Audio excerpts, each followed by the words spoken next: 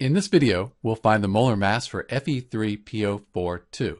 This is iron 2 phosphate. And when we find the molar mass, we have our three iron atoms, and then we have these two phosphate ions, PO4. So we have to account for the two phosphate ions as well.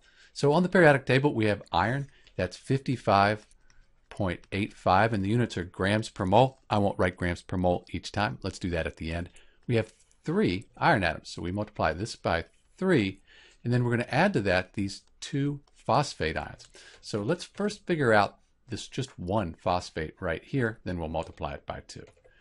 Phosphorus on the periodic table, 30.97 grams per mole. We only have one phosphorus in the parentheses, plus oxygen is 16.00 grams per mole, but we have four of these oxygen atoms, so we'll multiply this times 4. So now let's put brackets around this and because this 2 applies to everything in this PO4, this is the PO4 we figured out. 2 applies to the whole ion. We're going to multiply everything by 2. So we get this number inside, multiply it by 2, add it to the 3 iron atoms.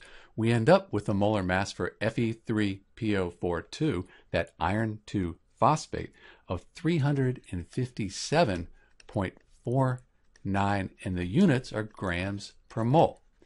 So if we have one mole of iron 2 phosphate, it's going to have a mass of 357.49 grams. Note that my periodic table, it goes out to two decimal places.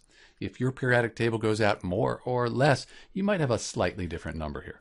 This is Dr. B with the molar mass for iron 2 phosphate, Fe3PO42. Thanks for watching.